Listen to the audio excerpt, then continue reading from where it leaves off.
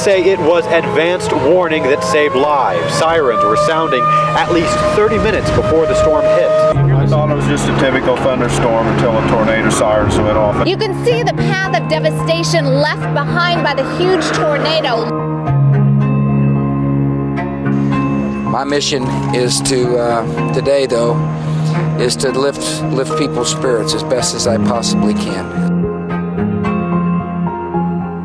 I was scared witless the night of April 3rd, 1974. That was the super outbreak of tornadoes, largest outbreak in recorded history in North America.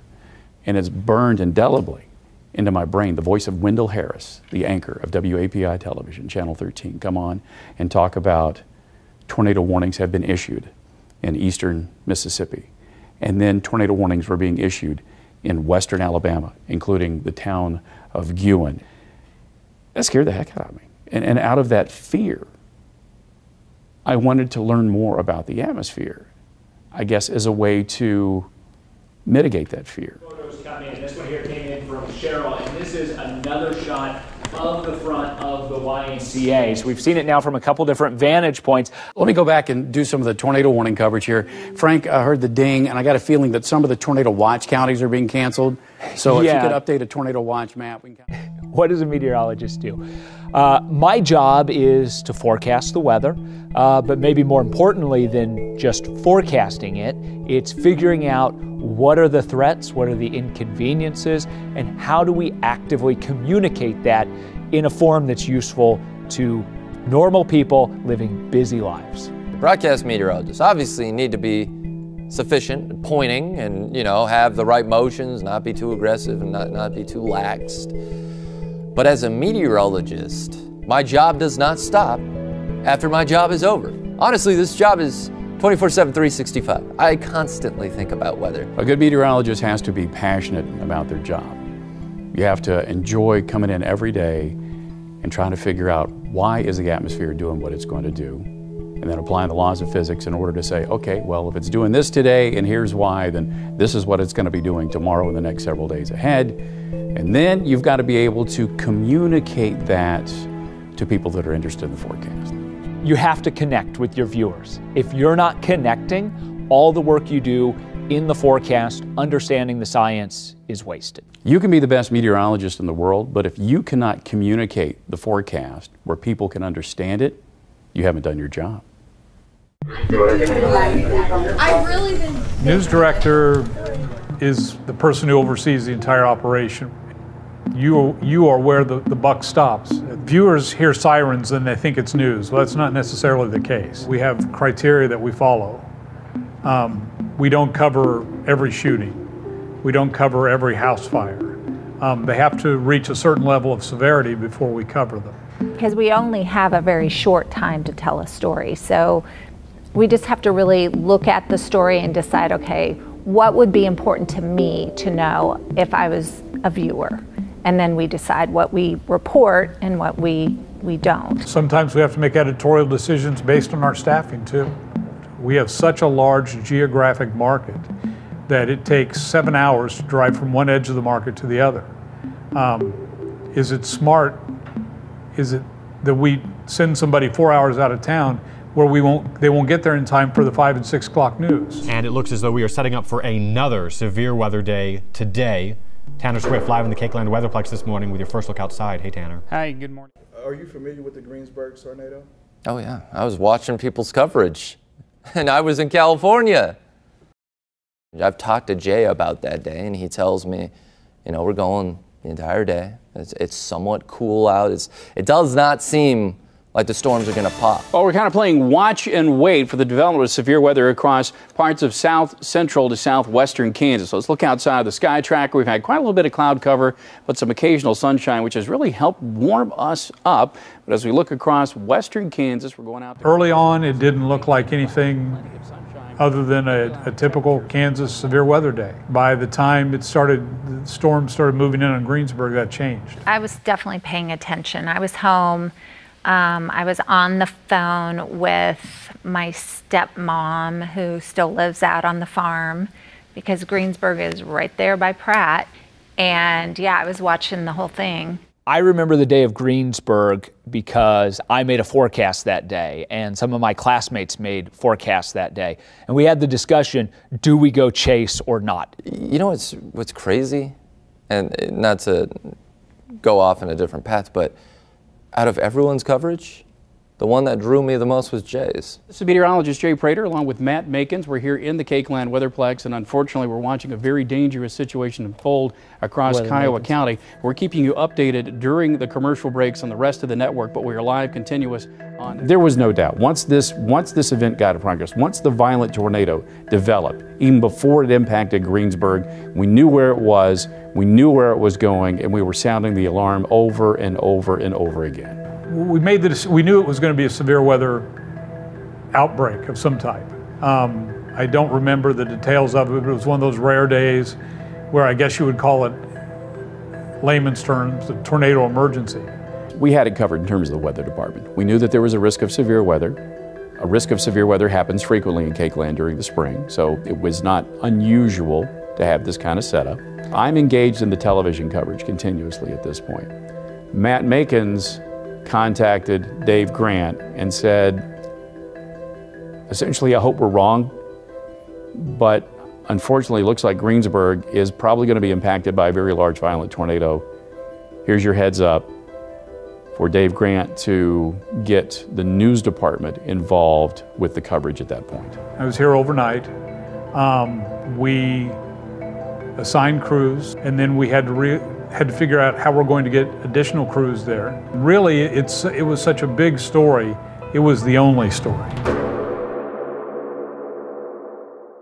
And I remember talking to my friends saying, if a storm can break the cap, it's going to be off the charts. What we're watching and waiting is the atmosphere. If it develops thunderstorms that can become severe very quickly, we're talking about a tornado threat. But we have an area in the atmosphere, a, a lid or a cap, if you will, that we've got to break through. Right now, it's holding very strong. Hopefully, it will hold strong. That will eliminate the severe thunder. In simplest terms, the cap is kind of a lid in the atmosphere.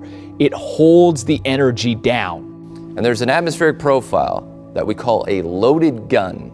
And if you ever see a loaded gun on an atmospheric sounding, which is basically a map of the upper atmosphere, it means that the atmosphere is a ticking time bomb for severe weather. And so it's all about how quickly is the air rising. That's what causes thunderstorms. That's why you go from a clear blue sky to a severe thunderstorm in 30 minutes or less, because once that cap's gone, all that energy is able to be realized. And then it's these powerful rotating thunderstorms that can cause the violent tornadoes. If X, Y, and Z all come together, it's going to be a very bad day. Annie, how close are you to the county line? Uh, we have passed the county line already, Jay. Okay, so you're north of the county line of the tornado. We do. We have two tornadoes on the ground, Jay. Uh, we have a small, uh, well, excuse me, a, a medium, if you will, to the to my north northeast. We have a very large.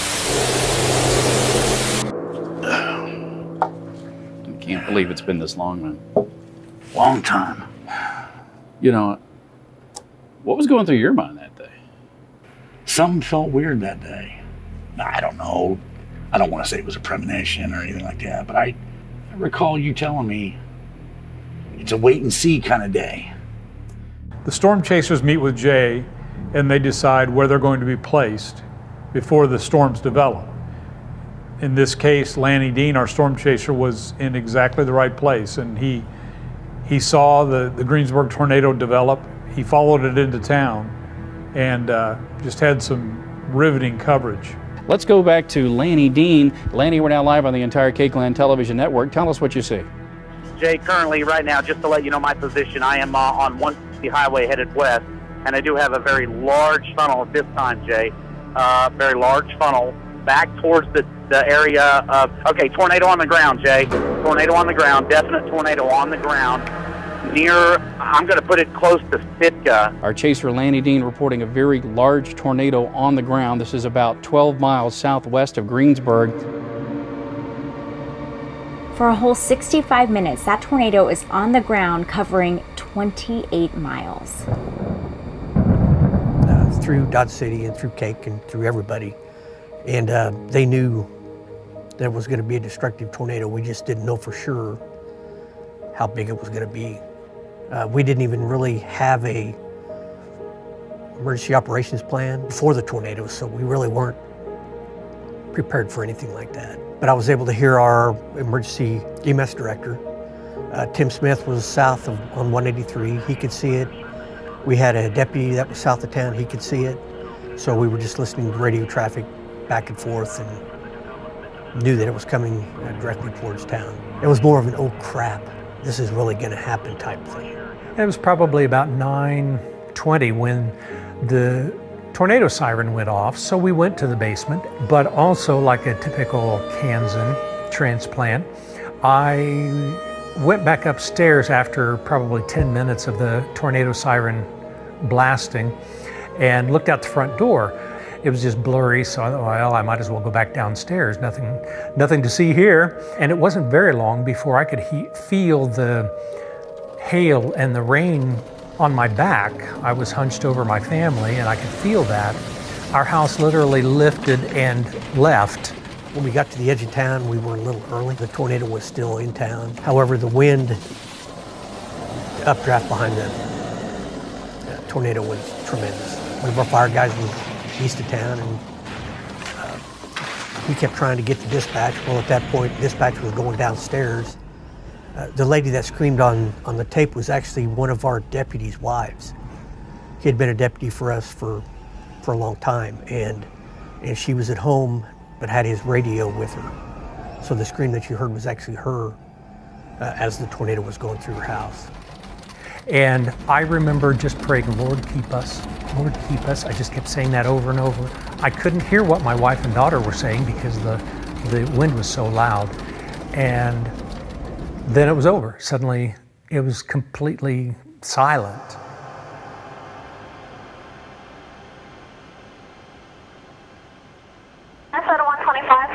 Go ahead.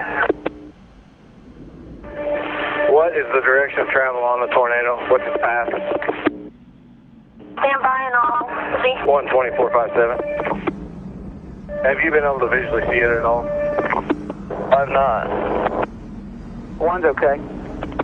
At 10-4, Tim, what do you see right now? I am at mile marker just north of 49, and I see a very large tornado on the ground north of me, directly straight north of 183. 10-4. Is this the west tornado or the east tornado that was there before? Thinking this is the west one. That puts you, what, still uh, 6 south, 7 south of Greensburg? Affirmative. 10-4. Was there a tornado east of Greensburg also? Now there were a number of tornadoes. The big one we have right now is just 183 uh, headed straight north towards Greensburg. One Coa County, I'm going to be at a destroyed house south on 183. I'm going to see if I can't find any victims. And if you copy as soon as you can, I'm going to need some help with some rescue out here. Here on South 183, I got victims. I can't tell where they're at. There's the Greensburg just lost all power. All the lights went out in Greensburg. Greensburg taking direct hit What do you see from where you're at? Nothing but night, and Quarter-sized hailstones.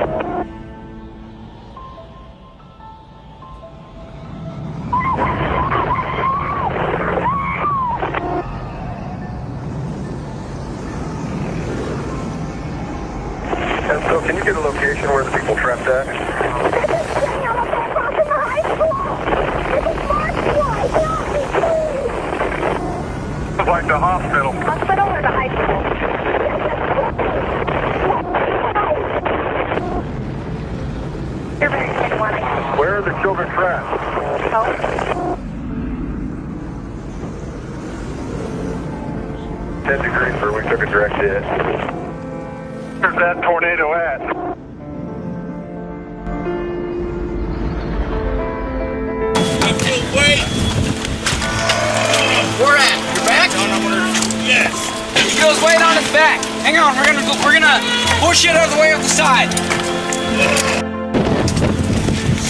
Run! It's getting heavy on. Careful, careful. Run! But there's probably holding some up too, maybe. Uh, someone hold the light or something. Yeah, I got the light. Wait, can you hold the light with the other hand?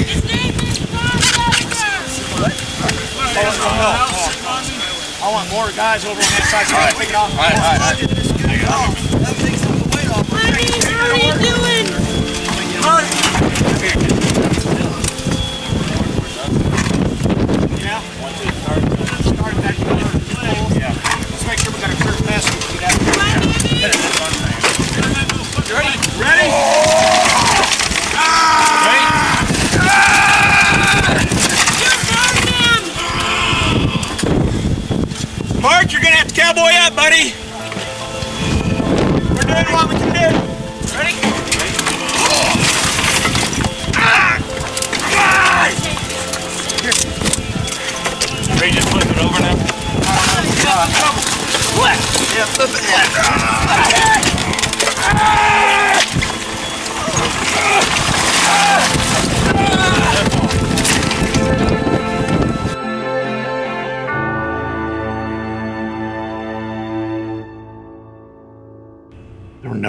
first responders in Greensburg when we got in there on Okay. the west edge.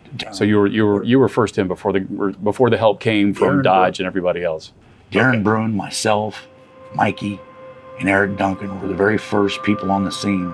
There were so many things that just kind of fell together. Uh, where triage set up was the old Dillon store. That's where the ambulances set up. Uh, the lights throughout town, there was, there was nothing. There was houses destroyed, no trees, so you could see from one end of town to the other. That's how people knew where to go because they seen all the emergency lights. So everybody just started congregating towards the middle of town. As we could already see, there were lights on the highway. Although the entire town was black, we could tell there were vehicles down there with lights. So we began making our way down, and it was very disorienting. It's just five blocks to Main or to the highway. We got disoriented in that five blocks, although it was only a straight shot, because all of the landmarks were gone. All the homes were so destroyed that you couldn't really tell where you were. A young lady and and a, a, a gentleman were walking aimlessly down 400 highway past me, and the the guy is bleeding from the head. And I remember saying, "You guys okay?"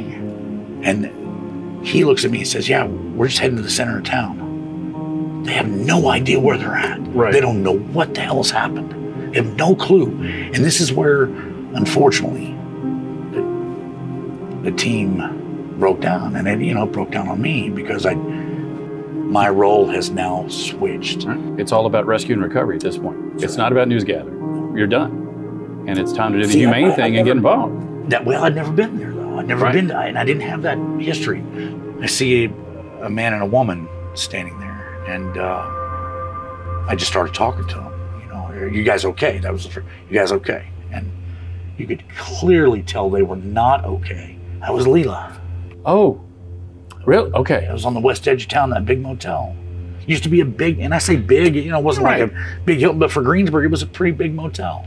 That's that's a small motel that was on the west edge of town, right? Yeah. And your shot comes up. It's a car in a building. Currently, we have uh, we have the owners with us that, that survived this tornado by going into the closet. Leela, I'm going to put Leela on the phone. Hi, Jay. Leila, please tell us what Hello? happened. The image clearly shows that there is a car that has been thrown into a room in the hotel. And Lanny says, Hey, I got somebody who wants to talk to you. I'm like, Okay. And he's like, Well, here's Lena. And all I can do is think about, I'm glad you're okay, you know. And she, uh, and she, and she, you know, she, we talked about the fact that she was okay. And I mean, when you consider, uh, here I am looking at her motel and there's a car thrown through it. I can't imagine what the rest of the damage was. And this was just on, keep mind, this was the west edge of town. Thank you, thank you know, thank you so much. We were we were watching you. We were watching Jay. Blah. I mean, she just kudos to, to you. She was wanting to try to give you kudos because she was literally, and she, you know, her husband, he didn't take shelter right off the bat. They didn't. They didn't. He. They kind of waited until almost the last minute. Horrible idea, but but thankfully, they they did take shelter, and ultimately, was right behind the front left tire of that vehicle as it's parked up. You see it in Yeah, the video. right. They're right behind that. That's where they. That's how they survived. Well, um, you know, we were watching actually KAKE Channel, and I know you said, you know, the tornado is coming straight towards Greensburg, so we stayed at home until the last minute, and then the power went out. So then um, I was inside the closet, and then my husband came in, and we just stayed there until it was all over. I'm so glad that y'all are okay. And, and we love you, you know, for, I mean, all the news that you give, especially regarding weather. I cannot thank you enough that you are all right, and I'm terribly sorry Yeah. about your loss. So, you you own the hotel there in town, and can you tell us how badly damaged your hotel is? It's really bad. I mean, there's no salvaging left. You know, it will. I mean, all the roof is blown away, all the windows are blown away. Our van is in one of our room actually. Um, you know, and and could you tell me like, uh, are we getting any severe storms in Greensburg? I mean, tonight. You know, we probably. we don't have anywhere to go. I, well, yeah. I just I, I, I can't believe I, I, I'm still impressed that that I mean I, I if the roles were reversed I'm in that situation I'm, I'm probably telling the media to go jump okay I'm not gonna, I'm not gonna, I'm not, I'm not going to offer up the interview because I'm, I'm probably too busy wondering about what am I doing what what you know I can I just I can't fathom that so the fact that that Lena wanted to talk to us about her experience I wanted to make sure that she was able to express herself and say everything she wanted to say. There was no way I was going to I was going to interrupt that, but I had I had to temper all of this with also in the back of my mind, it's not over. The storm is not over. The threat to life, limb, and property has not ended in KAKEland. So I have to very carefully balance this interview with a survivor that I want to give the utmost respect and compassion to because of what they went through, but at the same time, in the back of my head, realizing at some point I've got to end this because Stafford County is under a threat right now. Uh, between you and Pratt is okay. The severe thunderstorm that is Okay, okay. probably still producing a tornado, unfortunately, is bearing down on St. John as we speak. And there may be another tornado there in St. John right now, but it's okay over in Pratt. Yeah, you know when you said that this one is really bad, you guys need to be in shelter. Yes. That's the exact moment I went in the closet. Mikey and I split off from Eric Duncan and went to the, the first house. People were trying, they were digging. At this point, we saw flashlights and you could hear people. And I said, Hey, are you guys okay? And, and no, no, no, no, there, there's my, there's a lady in here. And uh, we thought that we would help. And we, we got down to her. Um, her leg was about half severed off. Um, I know you saw a lot that night. That, and I understand you're comfortable sharing some things and not others, and that's perfectly fine, dude. I get it because you saw you saw things that you you weren't planning on seeing earlier in the day. So it's one of those things when you moved in, you're like, okay, where am I going to go in case of a Yeah. tornado? You thought Yeah. that very quickly. And, and every place I've ever lived, I've always said, okay, where's our shelter? It was a few days before I went out there. Plus, I'm the kind of person where I don't want to interfere with. Um, I just I don't want to I, I don't want to get in anybody's way of recovery at all. It's not about me, you know, trying to get out there and and and and. It's not it's not it's not about me. It's about those that survived Greensburg, and emergency management's there, relief is there. All the people are there in order to support and help their recovery. You know, you have to remember I've covered a lot of tornado damage over the years. So what I saw wasn't necessarily like wow, because I'd seen it before, but the wow factor was the entire town was gone, leveled. It just looks like somebody's trash. Even though you know this is your home and this is all your possessions, it, it, just, it just looks like so much trash. And you're picking through all that, trying to find anything that might be salva- fa- salvageable. Um, our, our house literally was gone. Seeing the house the first time was super hard. Um, you kind of just doesn't look the same anymore. But even from the get go, we were already starting to kind of there was tears obviously, but again, you kind of just pick up and keep moving. So like, what else can you do? You can't just break down and stop. I remember mom just kind of um, encouraging us to just, just go grab clothes, grab whatever.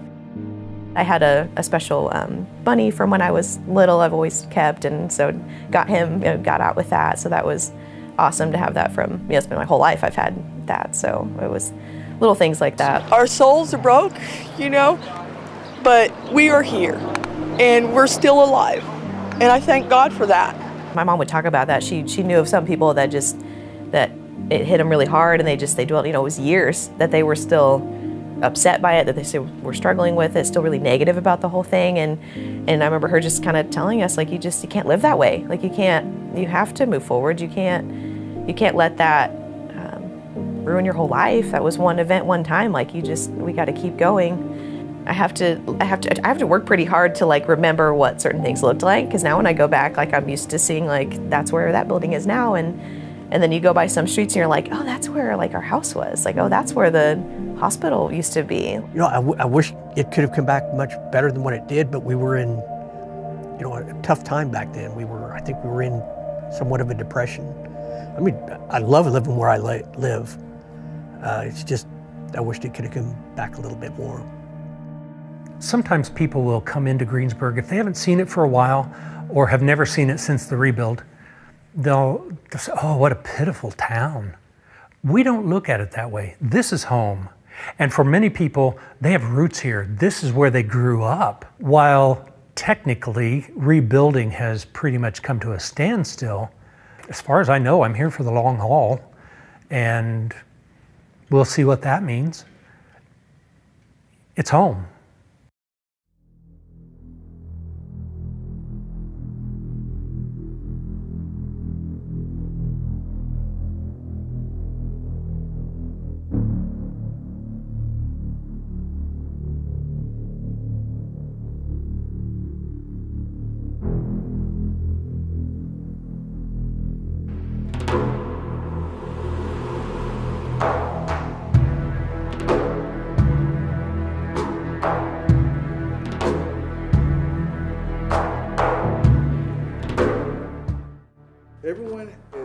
That that meteorite was lost in some form.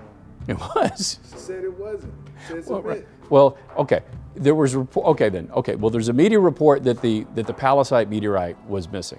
But no offense, it's a big, heavy rock, and I, so we knew it wouldn't go far. I think it was just covered under some of the other debris from the tornado, and then they uncovered the debris, and hey, there it is.